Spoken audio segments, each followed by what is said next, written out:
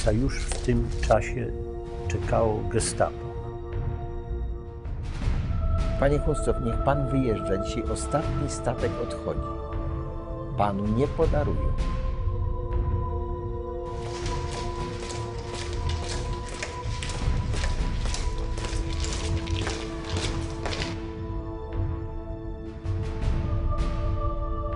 Selbstschutz był organizacją bandycką.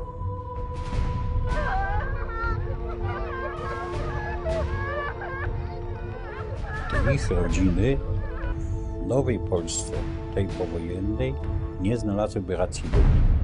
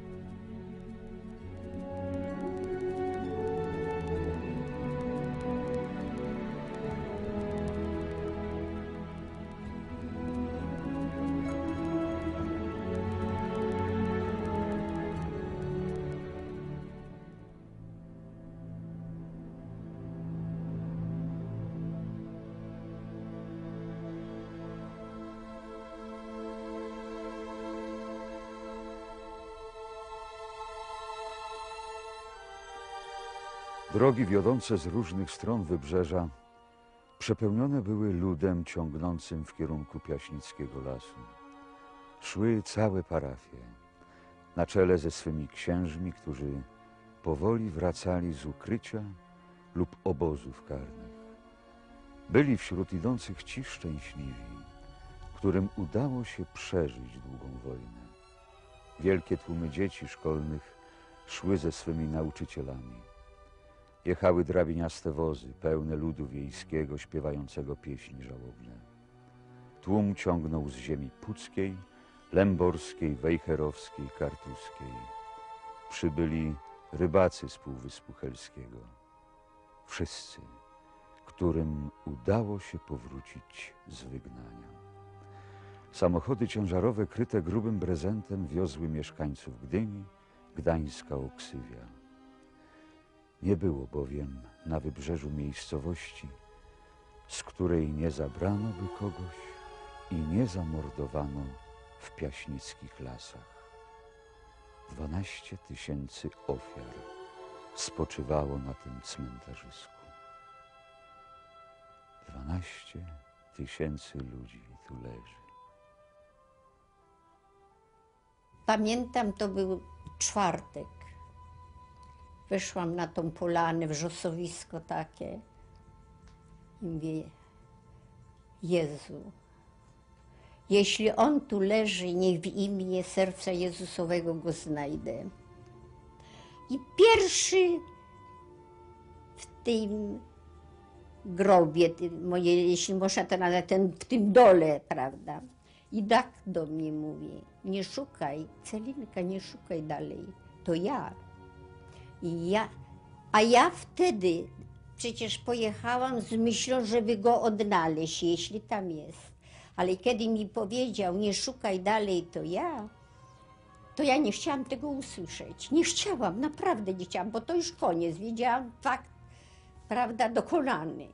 Po ekshumacji Piaśnicy te ciała, ponieważ były wielu osób, ponieważ były mm, oblane wapnem, czasem w niektórych przypadkach zachowały się w dość dobrym stanie. Na przykład mój właśnie wujek e, Franciszek Kurowski. Ciała, ponieważ były tych dołów odkopywane, przekładane do takich, to, to nie były trumny, to były skrzynie drewniane, wyłożone zielonym mchem. I mój stryj, Hipolit y, Szczynialski, odmówił, że odwrócenia się tyłem. Szczelano do niego, patrzył, znaczy na ten pluton rozszczeliwujący i jeszcze krzyknął, jeszcze Polska nie zginęła, a was kara nie, i tak nie ominie. I na to Niemcy, podobno to tak rozścieczyło Niemców, że jeszcze y, kolbami zmasakrowali mu głowę. Mama trzy razy jeździła do Piaśnicy. Jeden raz y, zabrała mnie ze sobą, ale y, do y, zwłok mnie nie dopuszczono, tylko byłem y, 50 metrów około dalej w lesie, czekałem i pamiętam, jak, że drzewa były posiekane kulami, pociskami. Bodajże w tym dniu matka rozpoznała ojca. Y, Zwłoki były bez ubrania, tylko w bieliźnie i y, poznała y, inicjały, które wyszywała na bieliźnie, wysyłając je do Szysztangę. Również y, poznała po kształcie głowy y, ojca, y, bo ojciec miał taką charakterystyczną y, już y, łysinę i, i po skroniach właśnie y, była pewna, że to już jest y, ojciec. Y, Z dokumentów y, y, wynika, że y, również znaleziono przy ojcu mm, tabliczkę rozpoznawczą y, z nazwiskiem Józef Stach, y, kategoria 75 i y, Gdynia y, 1910, to znaczy y, mieszkaniec Gdyni i urodzony 1910 rok. Y, y, Pamiętam ostatni dzień po ekshumacji, gdzie y, już chowano y, szczątki tych pomordowanych. Wiem, że y, zidentyfikowano 55 zwłok. Y, Zawsze dla mnie to było y, jakimś takim znakiem opatrzności, że wśród tylu tysięcy pomordowanych akurat nie wiem jak to nazwać, czy to było szczęście, że matka odnalazła ojca. Mogiłę, no to pamiętam mm, ten zapach y, świeżej ziemi i y, surowych desek sosnowych, z których y, zrobione były trumny. Przed zasypaniem tych mogił mama podeszła ze mną do krawędzi i grudką ziemi wskazała, które to jest miejsce.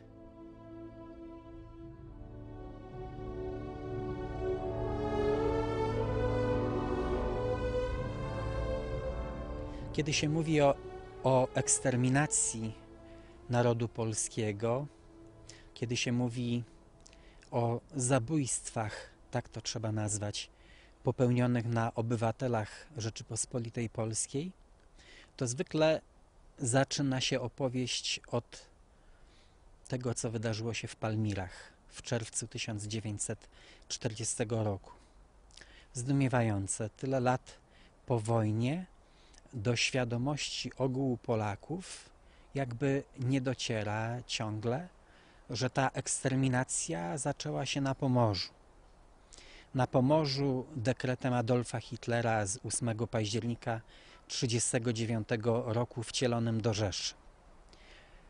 I kiedy zapytamy Polaków w Łodzi, w Warszawie, w Krakowie o Piaśnicę, Szpęgawsk, Mniszek, to patrzą na nas, chcą się dowiedzieć, a przecież to powinny być miejsca znane każdemu Polakowi.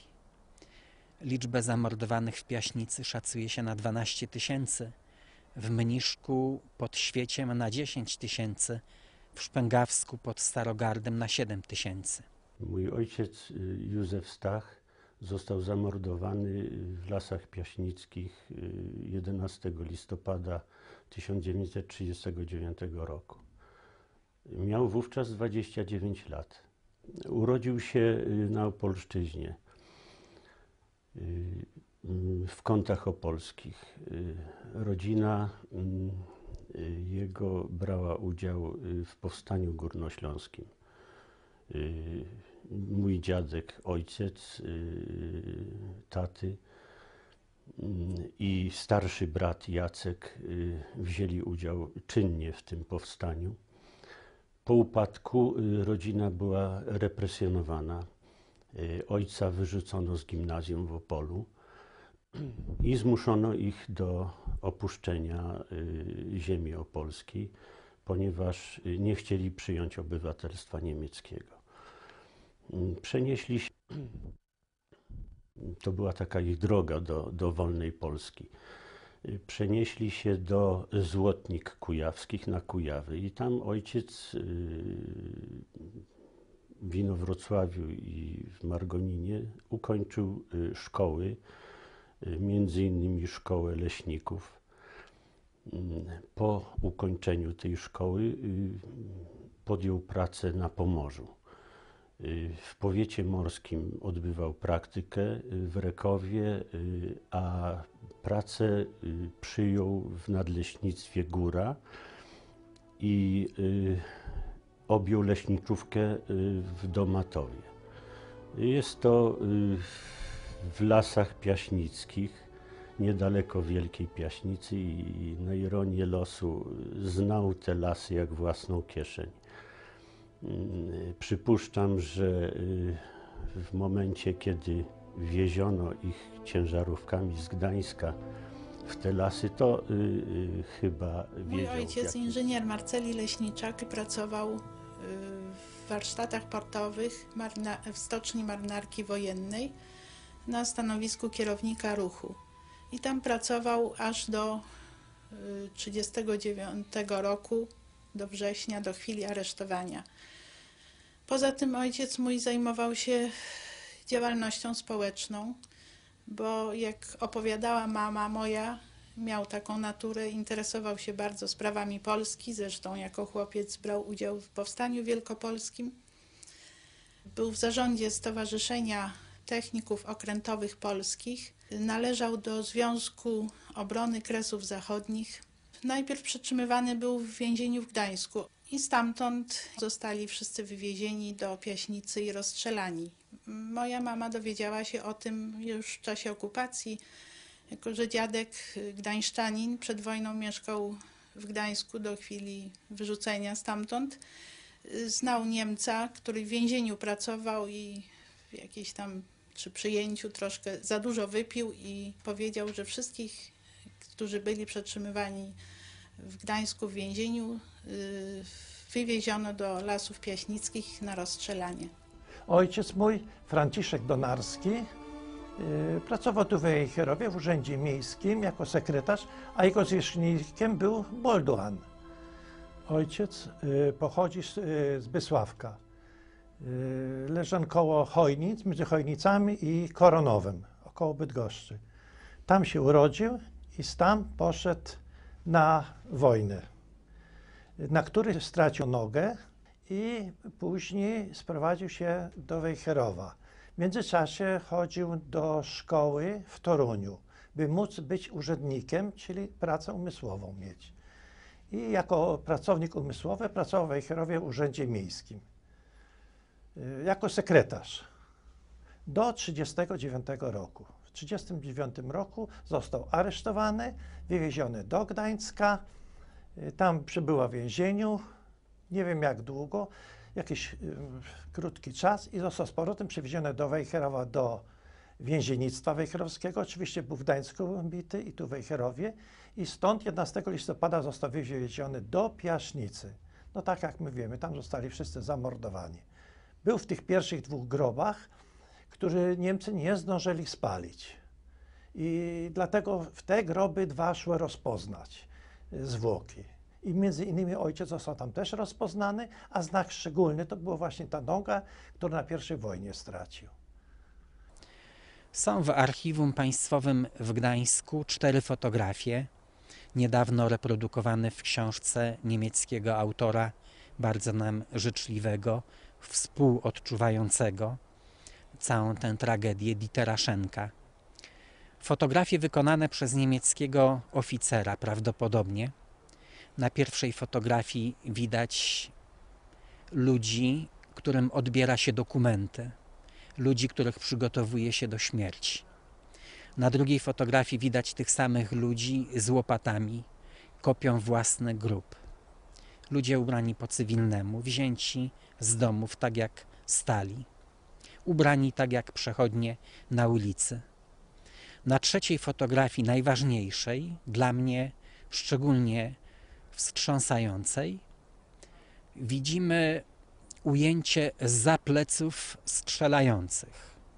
Ci, którzy strzelają, to nie są SS-mani, gestapowcy, to nie są żołnierze, to są cywile. To są cywile, wyglądają na gospodarzy. Niemcy po cywilnemu członkowie organizacji Selbstschutz, Selbstschutz, czyli samoobrona, organizacji znanej jeszcze z okresu powstań śląskich, organizacji, która się odnowiła na jesieni 1939 roku pod parasolem ochronnym SS. Ci ludzie strzelają do swoich sąsiadów. Strzelają do swoich sąsiadów Polaków. Uczestniczą w państwowej, podkreślam, w państwowej akcji przygotowanej przez władze państwa niemieckiego, nie przez jakichś tam bandytów, która się nazywa Bereinigung, czyszczenie, czyszczenie gruntu. Ci ludzie po cywilnemu zostali zaopatrzeni w broń przez jednostki regularne, które są utrzymywane z budżetu państwa niemieckiego. mamy do czynienia nie tylko z ludobójstwem, ale mamy do czynienia ze zjawiskiem, które można by nazwać bandytyzmem państwowym. Państwo, które powinno strzec prawa, dokonuje egzekucji za pośrednictwem cywilów, za pośrednictwem tych, którzy lubią zabijać, którzy mają na to ochotę. Znamy liczne przypadki ludzi, którzy odmówili członkostwa w Zelpszucu, ponieważ nie chcieli wykonywać takich zbrodni. Trzeba o tym mówić. Trzeba, by także prawnicy popatrzyli na to świeżym okiem i by całą rzecz właściwie nazwali. Znalazłem w książce Sasinowskiego, a później zresztą też i Bojarskiej, fotografię, że cywil strzela do cywila w obecności podpartego gestapowca. Intrygowała ta rzecz mnie strasznie, nie mogłem długie, długie lata do tego dotrzeć. Do tego jeszcze bym dodał inny szczegół, a mianowicie to, że kiedy skończyłem w roku 53 pierwszy stopień studiów, rozpocząłem pracę y, z nakazu pracy w Hartwigu. Podszedł do mnie jeden ze starszych kolegów i mówi: Słuchaj, młody człowieku, ja wiem o tobie dużo, ale nie mów, że twój ojciec leży w piaśnicy. Więc mogłem mówić, że ojciec nie żyje w wyniku działań wojennych, rodzina tak, ja mogłem być w obozie, wszystko się zgadza, tylko nie miałem wspominać piaśnicy. Te dwa fakty, ta fotografia i ten szczegół długo mnie absorbowały. Byli cywile, ludzie kolaborujący już przed wojną w ramach piątej kolumny z władzami hitlerowskimi. Ci ludzie, którzy w 1939 roku dopuścili się tej zbrodni w sposób fizyczny, rozstrzeliwując, nie wiem akurat czy mojego ojca, no ale należy tak zakładać. Yy, ci ludzie po wojnie schowali się w szeregach służb bezpieczeństwa, ażeby uchronić się od odpowiedzialności karnej.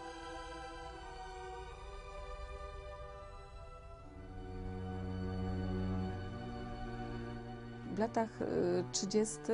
y, państwo niemieckie zaczęło finansować mm, powstające różne y, związki i stowarzyszenia niemieckie tutaj na terenach y, Pomorza. Finansowało też gazety, na przykład y, Putziger Zeitung i różne stowarzyszenia młodzieżowe. Chodziło tutaj jak gdyby pozyskanie tej ludności niemieckiej, która pozostała na tych terenach po I wojnie y, światowej dla celów y, realizacji własnej polityki, która już kształtowała się właśnie w kierunku agresji y, na państwo polskie. Mój ojciec w Domatówku mm, i w Wielkiej Piaśnicy zaangażował się w organizowanie kół bezpartyjnego bloku współpracy z rządem. Y, Te tereny były y, bardzo takie trudne, ponieważ y, już środowiska niemieckie penetrowały te tereny i po prostu odnotowywano ludzi, którzy byli antyfaszystowsko nastawieni. Po pracy w nadleśnictwie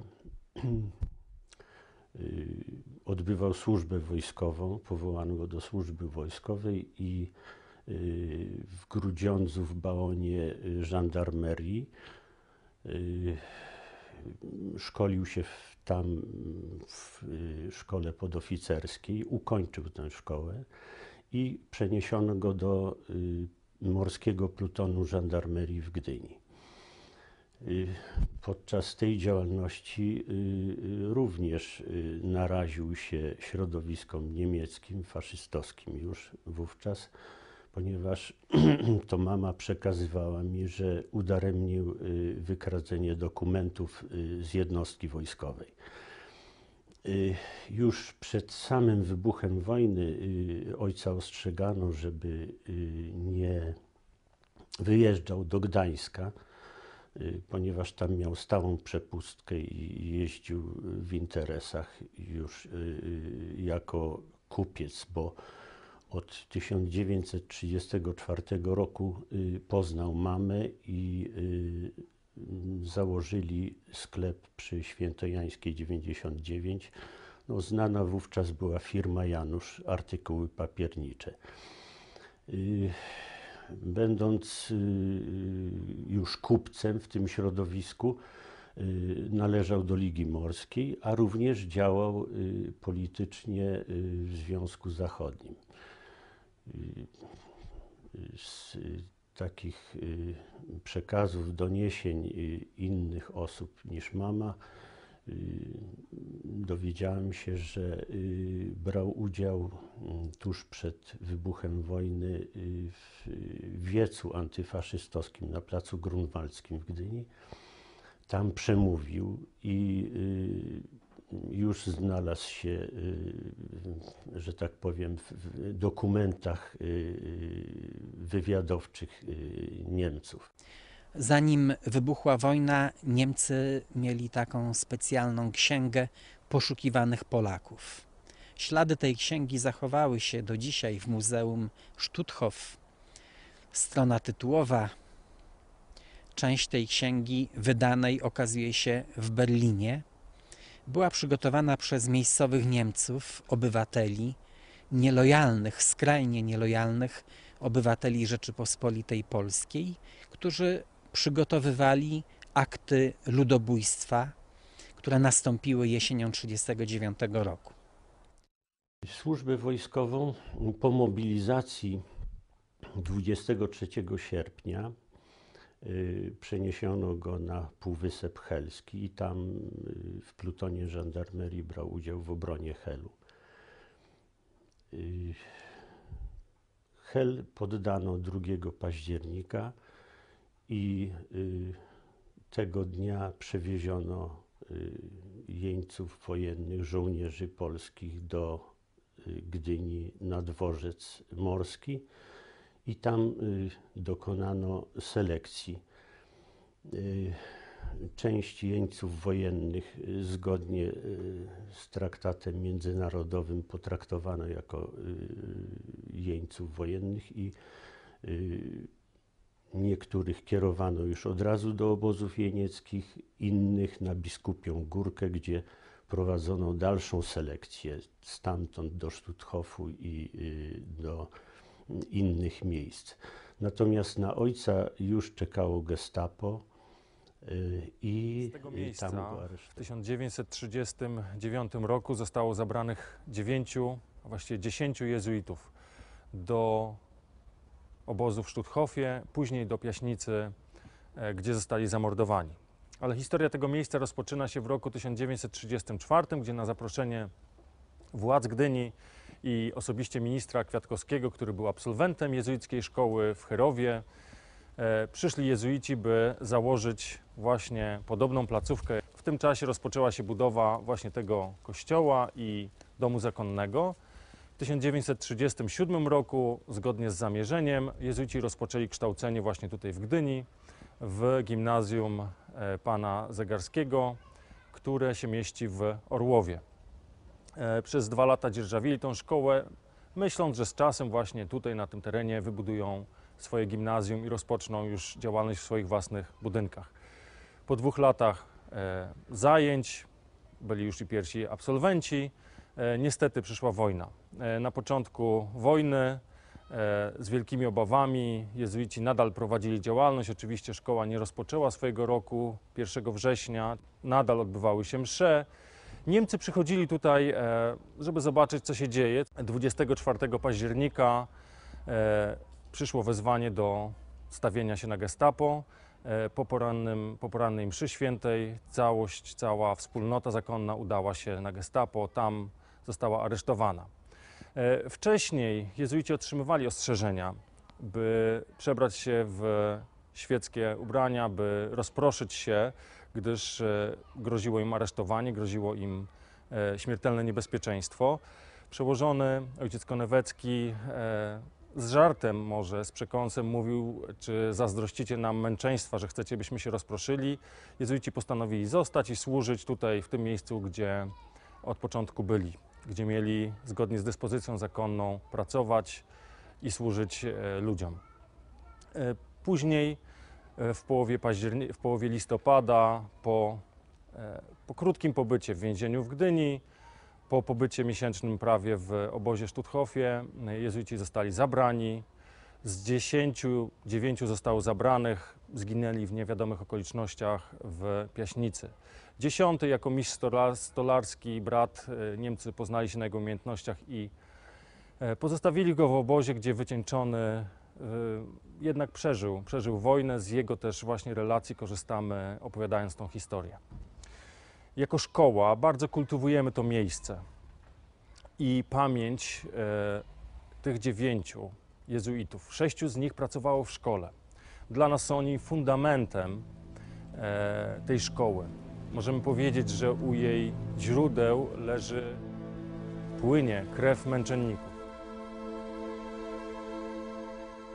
20 chyba 4 października, to jest ta data aresztowania siostry Alicji. Krótko przed wojną otrzymała dyplom honorowego członka Związku Ziem Zachodnich. A to równało się wyrokowi śmierci w oczach hitlerowców, prawda? I to też było chyba jedną z przyczyn tego, że była bardzo śledzona przez dłuższy czas. Nie wiedziała o tym, że wśród pracowników fizycznych jest jeden z tych pracowników szpiegiem hitlerowskim. Pamiętam ten moment aresztowania. Byliśmy na wspólnych modlitwach dodatkowych, bo jak okresy takie wolniejsze, to odmawialiśmy wówczas jeszcze tak zwane godziny liturgiczne, które są powszechnie teraz wprowadzone. To było w godzinie popołudniowej, około trzeciej po południu. No i tak w czasie domu cisza, w kaplicy modlitwa rytmiczna, bo to psalmy się wtedy recytowało i nagle krzyk, taki bardzo głośna rozmowa. No, to już wiedzieliśmy, że to Niemcy, bo oni w ten sposób, jak wchodzili do naszego domu, bo wtedy też nieraz do nas zachodzili, wówczas od razu bardzo takim podniesionym głosem, prawie że krzykiem rozpoczynali każdą rozmowę, po prostu terroryzowali. Po jakimś czasie, po tym krzyku, jedna z sióstr weszła do kaplicy. Wiem, że tak uklękła, nachyliła się do siostry przełożonej, coś powiedziała i siostra przełożona zaraz wyszła. Ale wychodząc z domu, przed przekroczeniem progu, jeszcze zdążyła powiedzieć siostrom: Wszystko przebaczam Franciszkowi. Myśmy wiedziały, o kogo chodzi i o co chodzi. Chodziłam od wsi do wsi, y, przesłuchiwałam świadków. Nie pamiętam, że jednego dnia dobrnęłam do leśniera. Więc stanęłam tak bezradna na środku tej wsi, dokąd się tu udać. A zauważyłam z daleka jakiegoś takiego pochylonego staruszka z pękiem kluczy w ręku. Szedł w kierunku kościoła. Podeszłam do niego. Proszę pana, czy pan może wie coś o tych egzekucjach, które się odbywały w Pieśnicy w 1939 roku? No proszę pani, to ja, ja wiem, że takie były, ale bardzo dużo powie y, pani moja y, synowa, która widziała tą egzekucję. Weszła w momencie przeprowadzania egzekucji do lasu. Jak się nazywa? Elżbieta Elwart. Jak weszłam z Orla kawałeczek do lasu, to już słyszałam ten płacz, ten jęk, tylko że był taki wiatr, że nie, nie zrozumiałam tego. No i przystałam, przyszły dwóch SS-manów. No i pytali mnie, skąd ja jestem. No ja mówię, że z Orla. No i wtedy się mnie pytał nazwisko i rodzona. Mówiłam, że z Orla, ten drugi mówi, że Orle przecież to jest niemiecka wioska. Kazał mnie stać, ten jeden chciał zabrać, ten drugi mówił, że nie, że nie mają nic do strzelania. Mówił po niemiecku do mnie. Oni poszli i został przy mnie, Wachman został, no ale jak ten Wachman szedł, to w tym czasie ja się tak obejrzałam, to widziałam tego księdza Witkowskiego na drzewie, powieszony. Ręce miał tak do góry i głowę tak na dół i wisiał na drzewie. No i widziałam w tym czasie też, widziałam jak wzięli to dwuletnie dziecko i tak za nogi rozszarpali i uderzyli o drzewo. No i widziałam, jak się czołgali po ziemi nad tymi grobami tam. Ale jeszcze żyli. Samochody widziałam już, ale chyba były już puste, że już w samochodach nikogo nie było. Dużo ciężarowe. Wachman patrzał na mnie, byłam jeszcze w ciąży, i patrzał na mnie i tak mi popchnął. Mówi, że jak coś zdradzę, to zginę ja i wszyscy moi krewni i cała wioska zginie. No i ja się wróciłam wtedy nazad do Orla. I tak dobrze znałam ten las i przyszłam dopiero wieczorem do domu, tak że w ogóle nie wiedziałam, gdzie ja jestem. Później też y, sołtys tam w Orlu mnie się pytał, czy ja coś widziałam i czy, że w Piaśnicy mordują, czy to jest prawda. Niemiec, Niemiec, tak. I ja mówię, że ja, ja takie coś jeszcze nie słyszałam. No i on się mi tak parę razy wypytywał.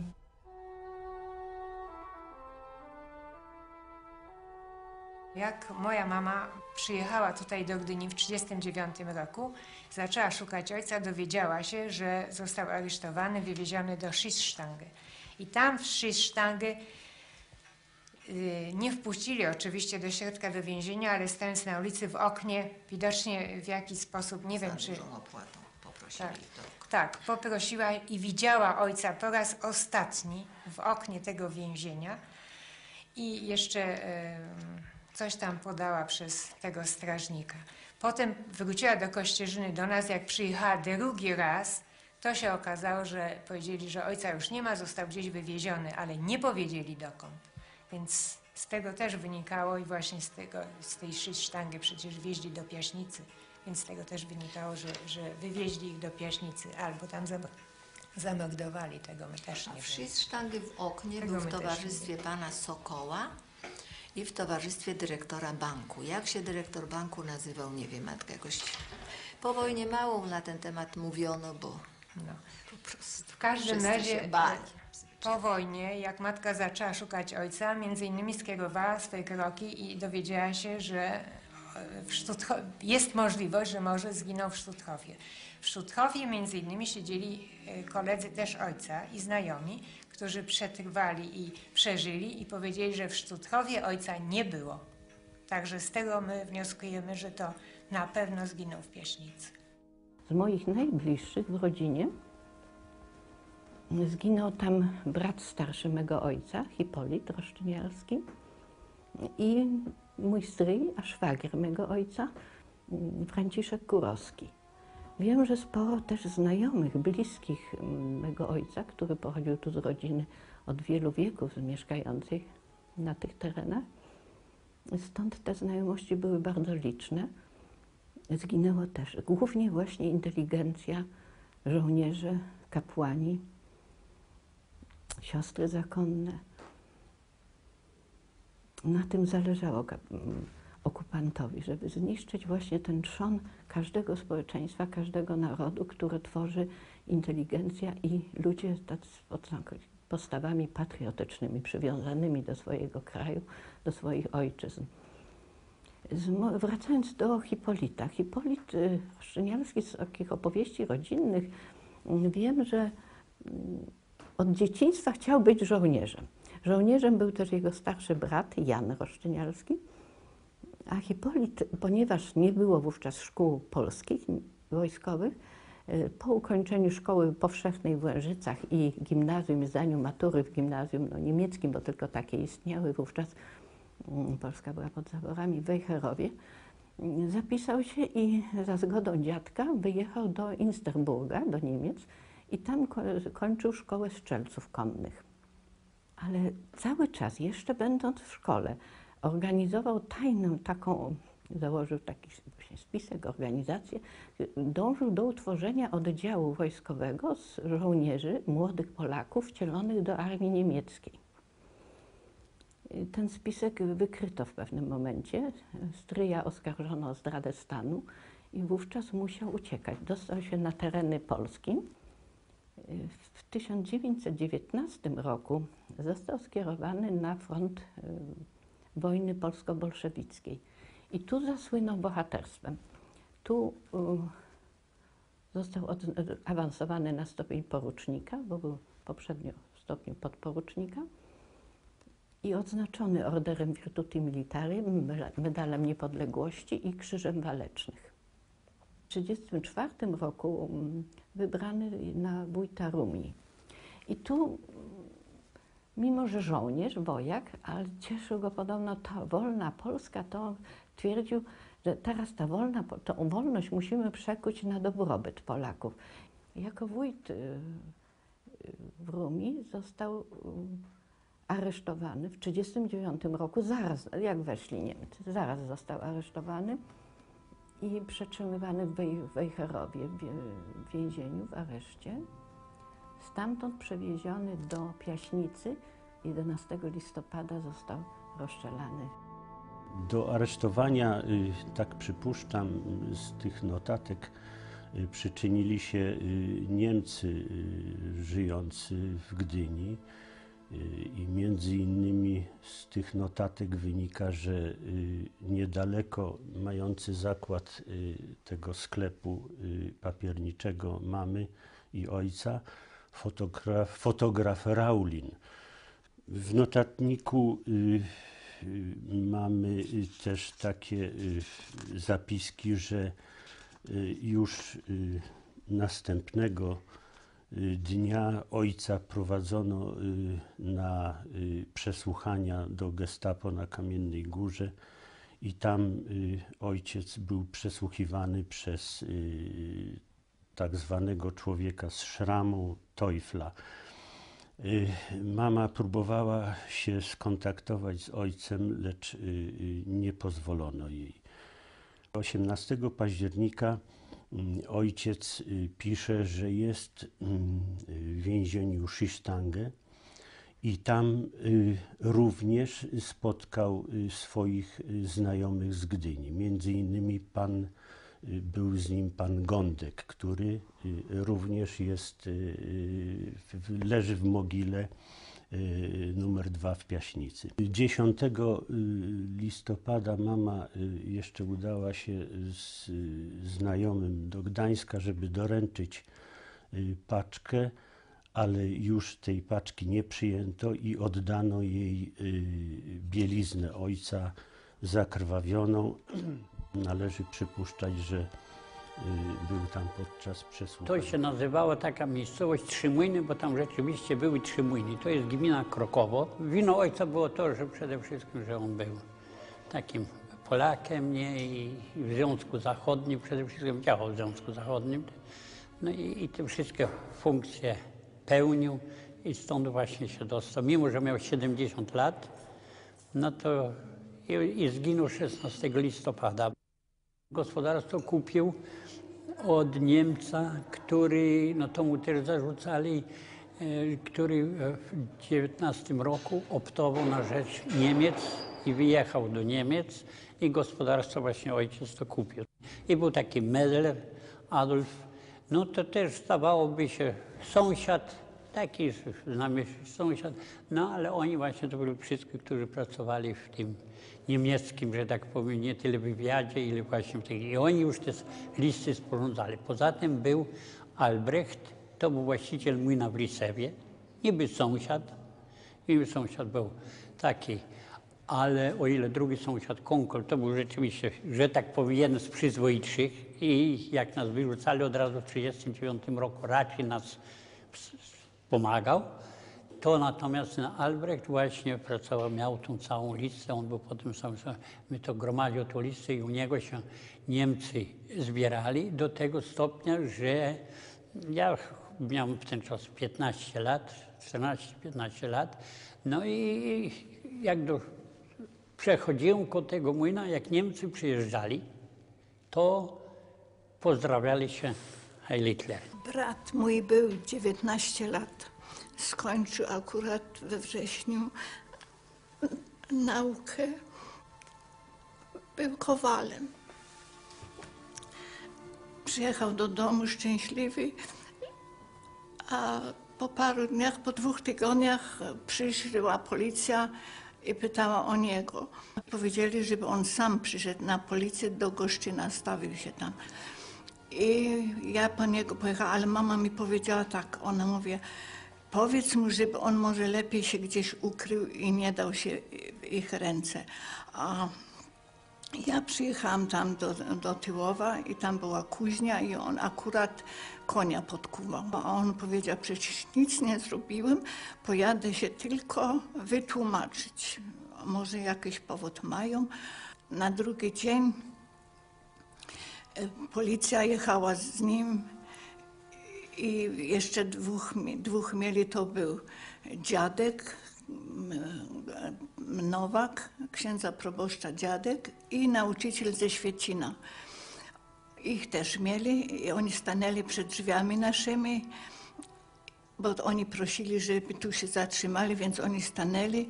Myśmy wszyscy wybiegli i on mówi, że jego aresztują, ale on nie wie za co, to się wszystko wy, tam w Wejherowie w, w sądzie, no on myślał, że będzie normalna rozprawa jakaś, albo nie wiedział o co był oskarżony. A ten nauczyciel zdjął obrączkę i mówi, weź oddaj to mojej żonie, bo nie wiem, kiedy się spotkamy. A dziadek Nowak powiedział do, do mojej matki, "Z- nasz najlepszy sąsiad zdradził. Pan Napierała był zarządcą majątku e, w Kąpinie. On został aresztowany, jego żona, dwójka dzieci, dwóch synów, wszyscy rozstrzelani w Piaśnicy.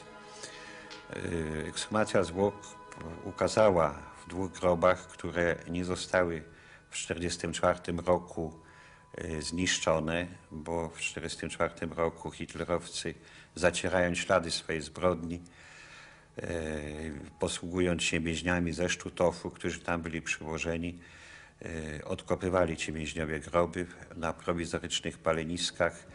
Były te zwłoki palone, doły z powrotem zasypywane. Dwa groby jednak nie zostały zniszczone i na podstawie e, odkop, odkrycia ich, e, ułożenia zwłok stwierdzono, w jaki sposób dokonywano tej zbrodni i jak ludzie tam ginęli. Więc był to strz- strzał w tył głowy najczęściej, ale wszystko wskazuje, że wiele ludzi tam e, zostało żywcem przysypanych, a rannych od strzału. Na przykład jest taki też wstrząs- wstrząsający obraz się zachował mm, właśnie z tej rodziny napierałów. 11-letni e, chłopiec Janek miał na imię, został żywcem zakopany w grobie i w takiej pozycji go w czasie ekshumacji zwłok odnaleziono, kiedy Kurczow otrzymał się matki.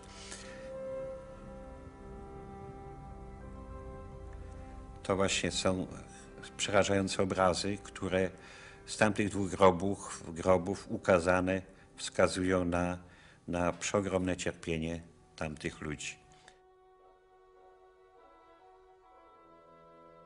W Piaśnicy brałem osobiście udział ekshumacji. Szukałem zwłok swego ojca.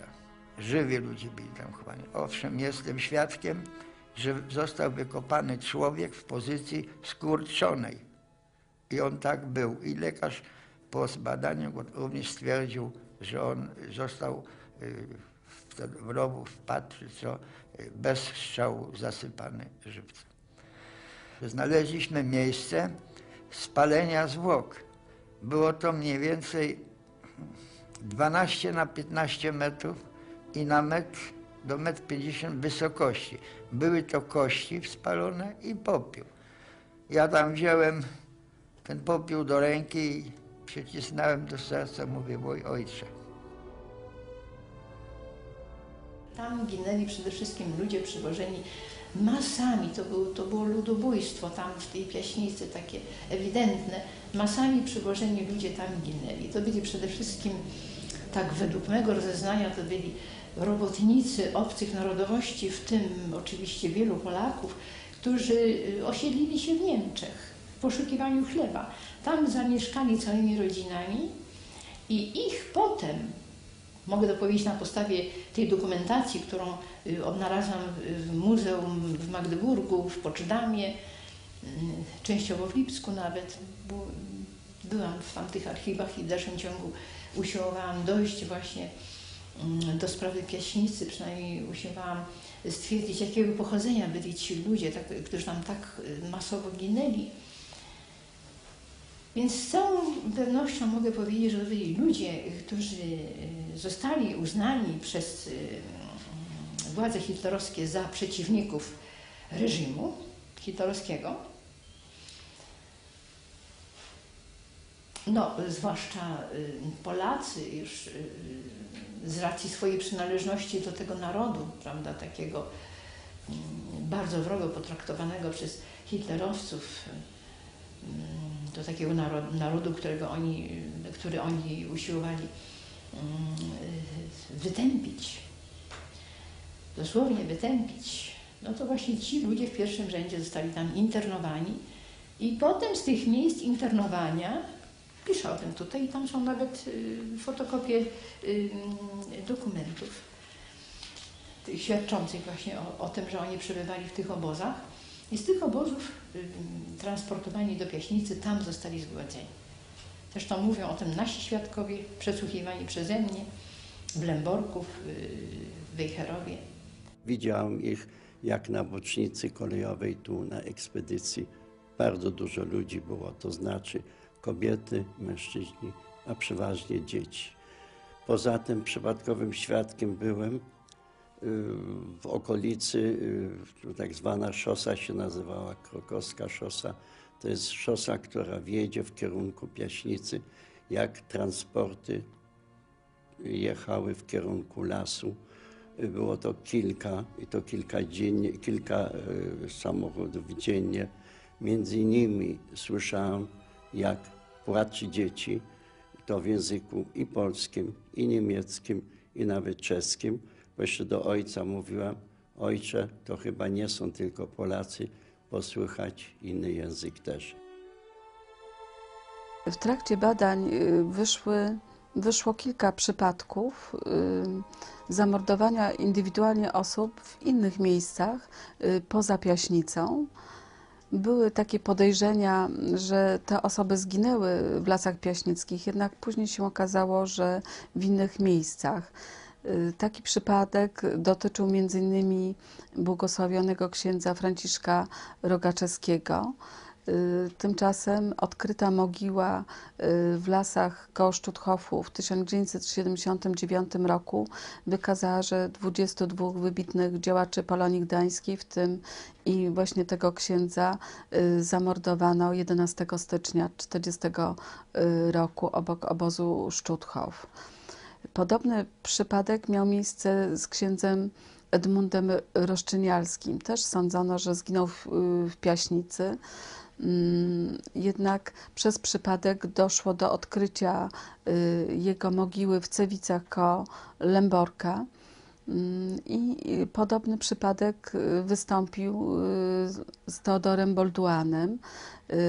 Teodora Bolduana rozczelano. Wejherowo położone jest pradolinie rzeki Redy, otoczone lasami. Jakub Wejher, powołując to Wejherowo jako miasto do życia, pobudował, czy właściwie ufundował też kalwarię. Jest to 26 kaplic położonych w lesie.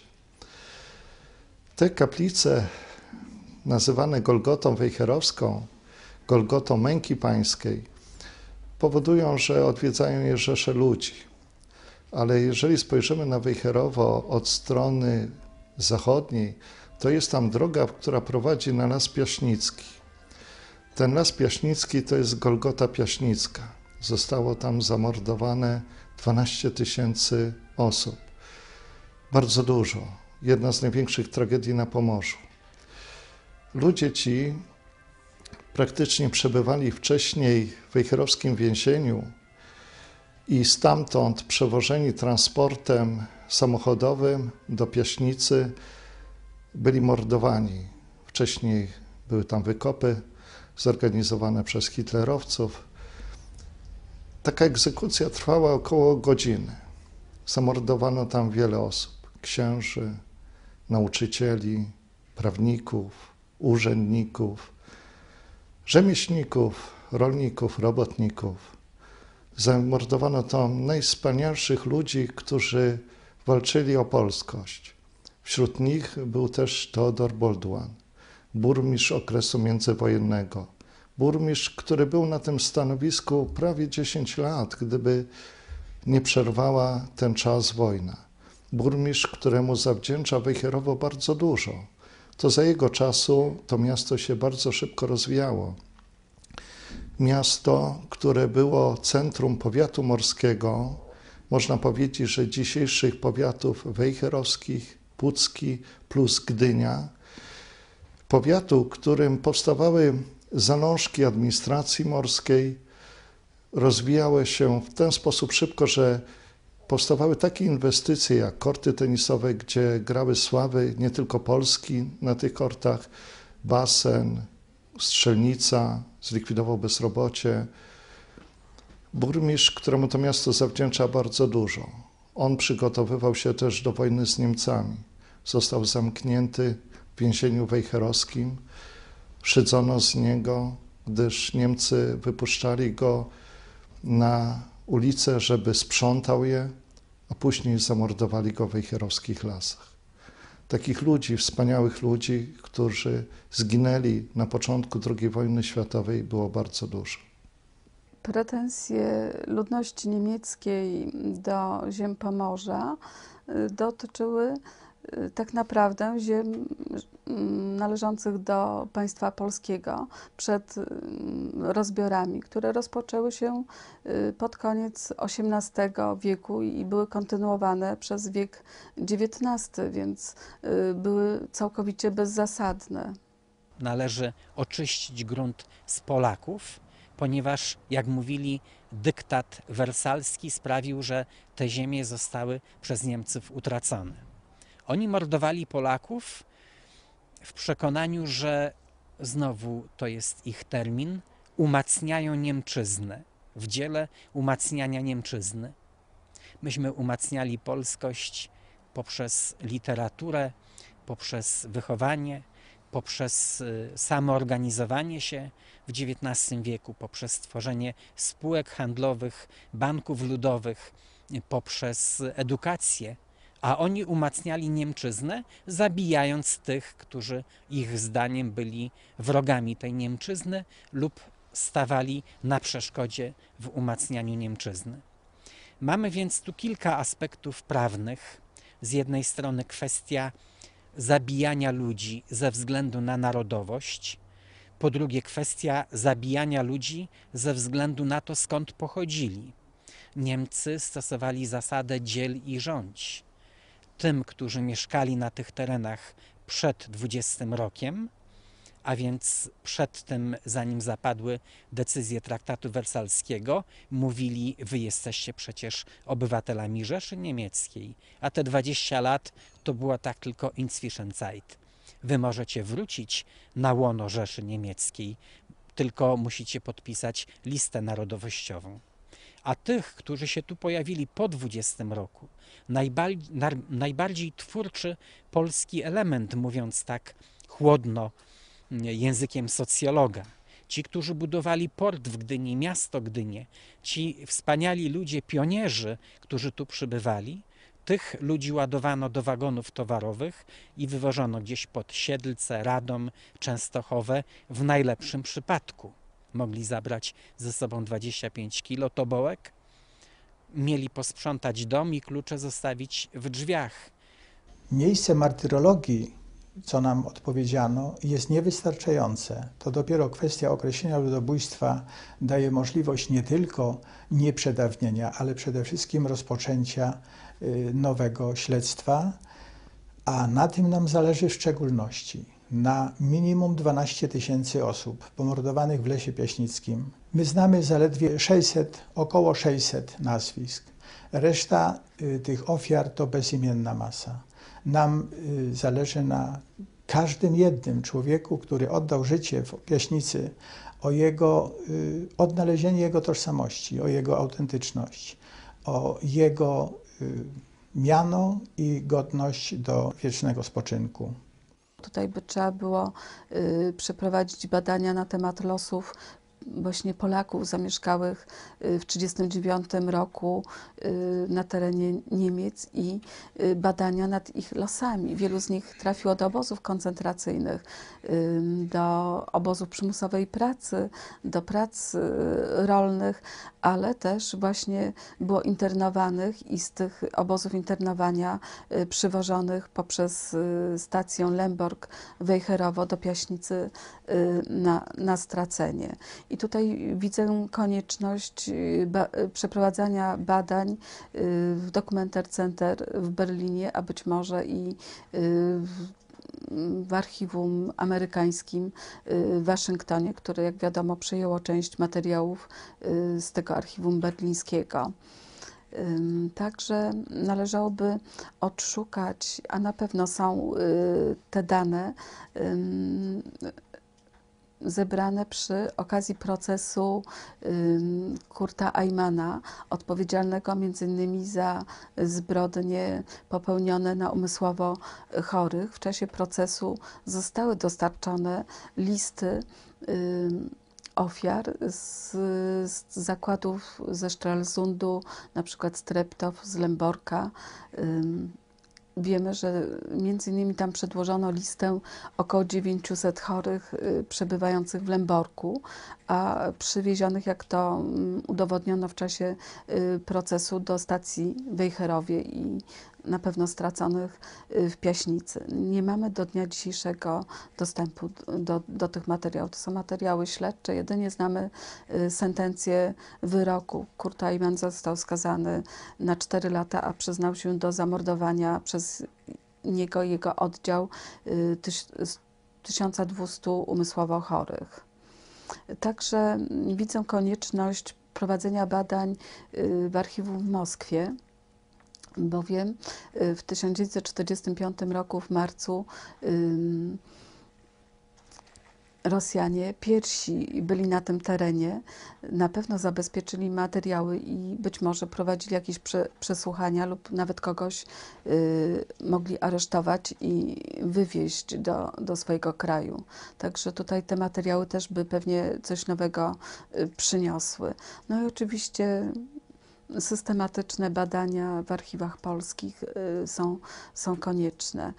Tutaj jeszcze mm, w przypadku ofiar indywidualnych widziałabym konieczność badania y, y, w archiwum Międzynarodowego Czerwonego Krzyża w Bad, w Bad Arolsen. Tego zapomnieć się nie da i nie wolno. Tu nie chodzi o to, żeby w jakiś sposób rozbudzać w sobie nienawiść do oprawców, ale wchodzi właśnie o podkreślenie e, sensu życia tych ludzi i wskazanie na ich sens, który oni sami, oni sami jakby odkryli poprzez to, że poświęcili swoje życie tutaj dla budowania i szerzenia polskości, umacniania jej. Ile tajemnic kryją lasy piaśnickie, trudno nam dzisiaj powiedzieć, chociaż cały czas trwa pamięć o tamtym wydarzeniu, a wraz z nią próba dochodzenia pełnej prawdy, to jednak wciąż jeszcze jest wiele rzeczy, które światła dziennego nie zobaczyły.